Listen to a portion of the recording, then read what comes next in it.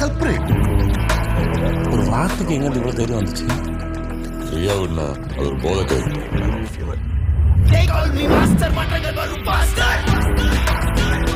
அந்த ஸ்டூடெண்ட் இவ்ளோ பிரச்சனை பண்ற பையனா பேசாம டிஸ்மிஸே பண்ணிடலாம்ல. ஜேடி ஸ்டூடெண்ட் இல்லம்மா ப்ரொஃபஸர்